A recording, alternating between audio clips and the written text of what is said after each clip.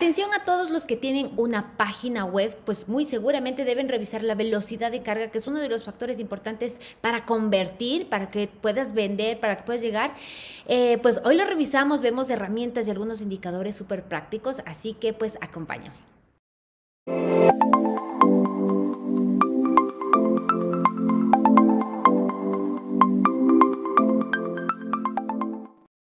Emprendedores en el mundo digital 521.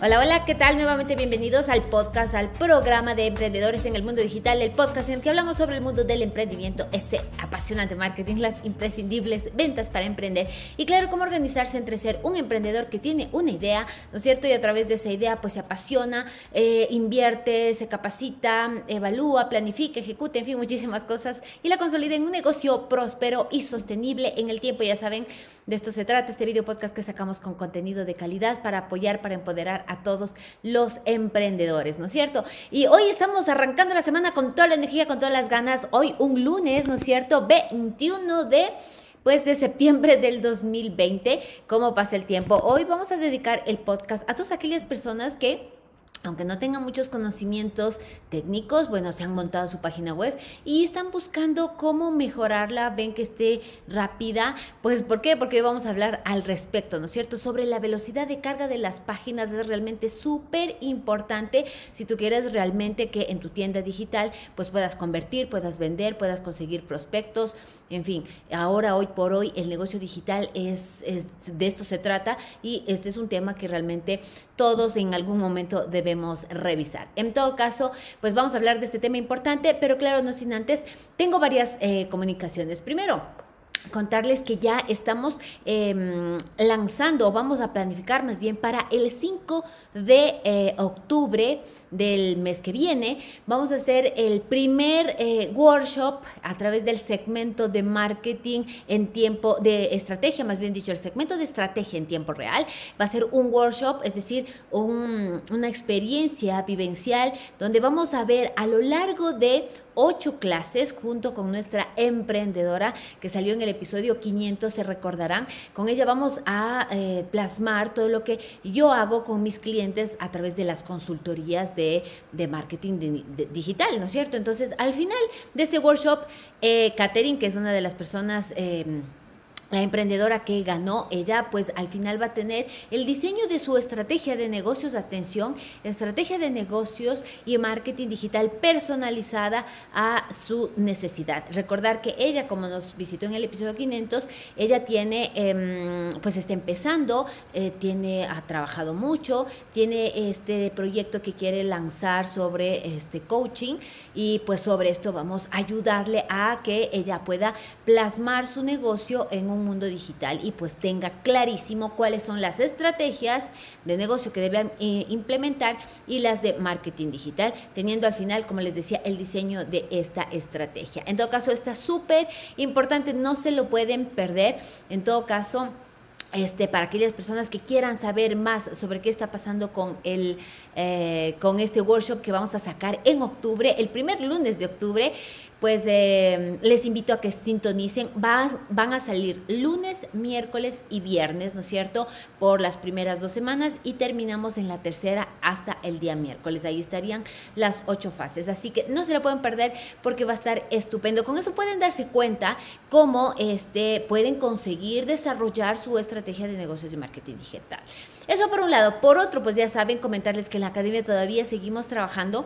Este con contenido muy interesante. Estamos replanteando nuevos cursos para la academia y pues el tema de la suscripción ya saben que es una membresía. Mientras acceden pueden acceder a todo el contenido. Así que no se lo pueden eh, perder. También estén pendientes nuevamente dentro del newsletter cateman.com slash newsletter pueden acceder pues a revisar esto. Y voy a dar indicadores de qué trata eh, la...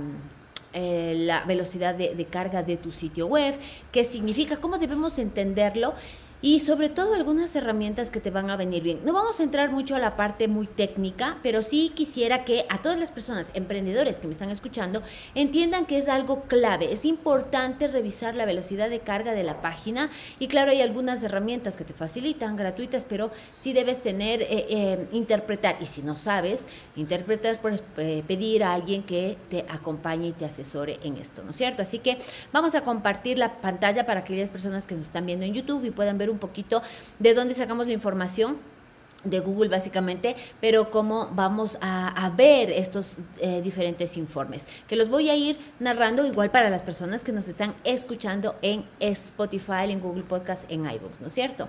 Así que vamos ahí. Esta información que yo estoy hablando del día de hoy es sacada de Think Google, que les había algún rato comentado. Esta es una plataforma en que te genera contenido gratuito, que te da algunos cursos también que están súper bien. Y claro, aquí he traído algunos temas sobre las preguntas frecuentes sobre la velocidad de carga. Y esto es súper interesante. Bueno. En fin, bueno, aquí está todo, todo un artículo que yo les voy a resumir de forma práctica pero lo que quiero es que vayamos entendiendo un poco eh, que vamos a utilizar, vamos a cerrar esto, estas herramientas que es Google Search Console y Page Speed, una de las principales, ¿no es cierto? Hay un blog también eh, dentro de... Em, de Google que eh, nos permite eh, conocer más de esta información. Pero bueno, vamos a revisar, como les decía, esta dentro de Google Search Console, que esta es una herramienta gratuita para los webmaster que facilita Google y es, no es más que enlaces. Aquí, por ejemplo, está logueada mi usuario de eh, Gmail enlazada y pues ahí tienes que verificar la propiedad. En este caso les voy a compartir pues mi página web, katiaman.com, para que veamos que también hay errores. Aquí me sale que hay 471 em, URLs afectadas y lo interesante de este informe es que te permite revisar, aquí básicamente dice del ordenador, porque si yo regreso más acá, en métricas. Este es un informe justamente para ver la velocidad de carga. Y aquí este Google Search Console eh, saca un informe donde dice métricas web principales, ¿no es cierto?, que encuentran en un menú al lado izquierdo pues entran ahí y ahí les clasifica en, un informe para móviles, es decir, cómo se ve tu página en un móvil, ¿sí? Si tiene problemas o no, y en un ordenador, ¿sí? Entonces, bueno, aquí te sale cero URLs pobres, te dice cero URLs que necesitan mejora y 476 URLs buenas. Esto es decir, en el informe para móviles, mi página en particular, pues no tiene ningún problema. Pero si me bajo, ojo, atención, y aquí puedo ver, abrir el informe, ¿no es cierto? Te da un botoncito para que vayas a abrir. En algún momento hubo algún problema, pero después se solucionó. Pues te dice cuál, te dice cuáles son, en qué fecha y aquí pues te da algunos enlaces, ¿no es cierto? Pero que se han solucionado. Si yo regreso, pues aquí tiene la parte de arriba tienes el menú. Puedes, ah, ah, hay otro em, eh, otro informe que te, en cambio te dice de ordenadores, que aquí en este caso en particular está mencionando que hay URLs que tienen problemas, ¿sí? Podemos ir a ver, abrir el informe y aquí pues te dice que en ciertas fechas hubo, por ejemplo, en, en, junio se presenta aquí, hay algo que se solucionó en julio, pero otra vez volvió a finales de julio. Seguramente algún cambio, eso tengo que revisarlo, que hizo que, que cambie esto, ¿no? Pero lo interesante aquí es que tú, por ejemplo, puedes ver, a ver, quiero que me des más información de cuáles. Y aquí te da un ejemplo, ¿no? De este, esto es un podcast que se sacó hace tiempo. ¿Y qué te dice? Que tiene 5.2 velocidad de carga. Y esto es interesante y claro, les voy a dejar en las, en las notas del programa que entendamos que es la velocidad de carga de un sitio, porque puedes sacar la velocidad de carga de un sitio completo o la velocidad de carga de varias páginas. Y entender que la velocidad de carga de un sitio, eh, cuando hacemos eh, dentro de, igual, Google Think, te da una posibilidad de decir, testea tu página y te sale un valor, ¿no es cierto? A, eh, y pones tu página web, pues ahí automáticamente te sale que tienes cierta velocidad. Esa velocidad es la velocidad de todo el sitio. Si tu sitio tiene 500 eh, páginas, pues hizo un promedio de la velocidad de carga de todas esas 500. Atención, que si tú vas en detalle y revisando cada una de las páginas, puede ser que unas te carguen más rápido, otras más lenta. En esas lentas es la que tienes que ir revisando qué problemas tienes. Y claro, el conglomerado, como les decía, es lo que hace la velocidad del sitio. Pero ¿qué es lo que deberíamos hacer? También meternos en la velocidad de carga de cada página, justamente para ir revisando y esto consigues con la herramienta de este eh, PageSpeed, ¿no es cierto? Que también es una herramienta de Google. Ahora, antes de entrar a ver las herramientas, hay una métrica, bueno, y, Google en base a qué determina que si una página es más veloz que otra. Y bueno, se basa en varios factores, pero hay un informe de experiencia de usuario o el user experience que está muy de moda, es decir, cómo este, interpreta o cómo analiza Google en base a la experiencia de usuario. Si se va, si no se va, si se demora demasiado, y eso debemos también nosotros ponernos como usuario. Si vamos a una página y esta página se demora mucho, ese tema del mucho es un poco lo que vamos a definir de qué dimensiones estamos hablando, ¿no es cierto? En todo caso, esta, esta, esto que está haciendo Google a través de este informe es un, referente para que valide si una velocidad este, de página o de un sitio web es más rápido y otro. Ya les iré comentando cuáles son esos parámetros para que tengamos claro, ¿no? Y también basa en una métrica que se llama, el, eh, bueno, sus siglas es FSP, que es la métrica de First Contentful Paint, es decir, y es el tiempo que se mide desde que la página comienza a cargarse hasta que se presenta cualquier parte del contenido de esta página. Y hablando de contenido que puede ser imágenes, texto e incluso las imágenes del fondo de la página web, ¿sí? Entonces, eh, este, esta, este, esta métrica es la que hace que eh, valides, mientras más corta sea, sea mejor. Ahora, ¿cuáles serían los parámetros? Y esto es lo que antes de entrar a ver los informes, eh, te considera Google para que sea tu em, velocidad de carga de tu sitio web, sea rápido, lento o vendio, ¿ya? Entonces, velocidad del sitio rápido debería estar entre 0 a 2,5 segundos. ¿Cachen? 2,5 segundos todo tu sitio web, ¿sí? Eh, esto es rápido. Medio, pues obviamente más de 2,5 hasta 4 segundos, ¿ya? Y la velocidad lenta para Google de todo tu sitio web sería de más de 4 segundos, ¿ya? Esto, como les decía, velocidad de carga de todo el sitio web. Ahora, ¿cómo? Y obviamente es más exigente si hace la, la validación de carga de cualquiera de tus páginas o en alguna página en particular. Y pues resulta que rápido es entre 0 a 1 segundos comparado con em, la velocidad de carga del sitio es de 0 a 2,5 segundos. Eh, es mucho más rápido obviamente porque está analizando ya solo esa página en particular. Eh, la velocidad media de carga sería entre 1 a 2,5 segundos y pues lenta más de 2,5 segundos que cargue una página, ¿ya? Entonces, obvio, cuando hagamos estos análisis y veamos que nuestras páginas están de pronto muy pesadas, pues eh, hay que ir a este mm, a la herramienta de Google Search Console que ya les voy a compartir y que también nos va a enlazar a PageSpeed. Y aquí les voy a compartir cómo lo hace, ¿no es cierto? Aquí este es el informe de Google, justamente para desarrolladores, donde te comenta toda la información del informe de experiencia de usuario que les había comentado. Esta información también les voy a dejar en las notas del programa para aquellas personas que quieran adentrarse un poco más, pueden revisar aquí. Y también, eh, como les decía, este reportaje que sacó Think with Google, que es de donde sacamos la información, ¿no es cierto? Y pues bueno, nuevamente volviendo a la herramienta de Google Search Console, pues vemos que este, hay problemas en la parte del ordenador. Ya móvil hemos pasado. Entonces, cuando yo me vengo acá y abro y voy al detalle, se me va a abrir esta PageSpeed, que es justo, eh, yo ya le hice un poco antes, pero claro, te da una información y te dice, esta página en particular que estás analizando tiene una puntuación de 70. Y claro, aquí te dice, ¿no?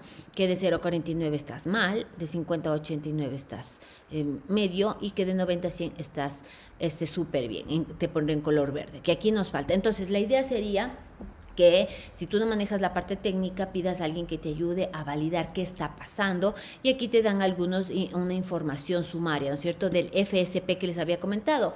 El First Content Paint, es decir, la velocidad de carga desde que comienza a cargarse la página hasta que comience a cargarse alguno de los elementos del contenido de tu web, ¿sí? Pues aquí dice que estamos mal, el 50% está, estamos en rojo. Y más información, ¿no? Sobre el, pues, el Speed Index, el Largest Contentful Paint. Toda esta información, mira, y está en rojo, ¿no? Lo que está en verde, pues el, el Total Blocking Time, 40 ms, pues está bien. Y es información un poco más técnica. Lo interesante aquí, y aquí no se ve, quisiera que, bueno, se ve, pero muy poco, es que vayan viendo, es a, la larga, son estos fotogramas que se ve desde que va a cargarse hasta que se visualiza la página. Y ojo, aquí hay muchos fotogramas en páginas en blanco. Entonces, ¿qué quiere decir? Y aquí te dice, elimina los recursos que bloqueen el renderizado te lleva a, WordPress y te dice algunos componentes que debes em, eh, revisar, por eso te decía, este es un contenido un poco más técnico, pero que claro, ¿cuál es el propósito de este podcast? Es eh, guiar a, los emprendedores para que tengan eh, un sentido de qué es lo que deberían solicitar a las personas, que si no lo van a hacer ustedes, soliciten que esto se mejore, ¿no es cierto? Porque de ahí es ir a meterse a picar piedra, a meter, a revisar contenido, instalar algunos plugins para que se optimice las páginas y que recordar, este tema de la velocidad de carga es imprescindible a la hora de, y nuevamente voy a cambiar ya este, la página, dejo de compartirles, para que entendamos que el tema de la velocidad de carga nos ayuda en forma general a convertir más rápido. Si es que estoy, eh, creo una campaña en Facebook, creo una campaña en Google y llevo tráfico a mi web y mi web carga lento,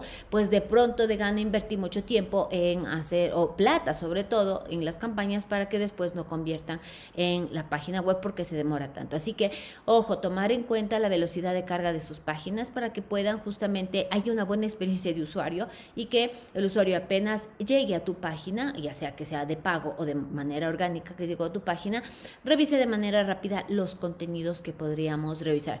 Este, en mostrarle, ¿no es cierto? Para que incluso interactúe con nuestra página, dejen sus datos, compre eh, algún producto, algún servicio, pues de eso se trata, ¿no? Y en todo caso, hasta aquí el programa de hoy.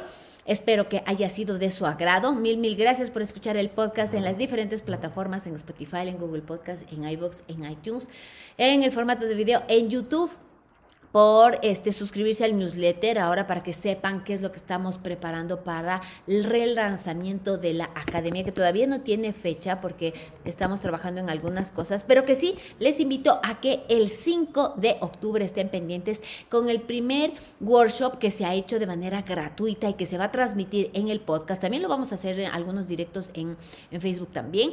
Y pues para que estén ahí, para que aprendan cómo establecer una estrategia de negocios y marketing digital. Sin más, pues les dejo un fuerte abrazo, que tengan un excelente lunes, un bendecido lunes, se les quiere mucho y nos vemos el día de mañana con una entrevista que no se la pueden perder.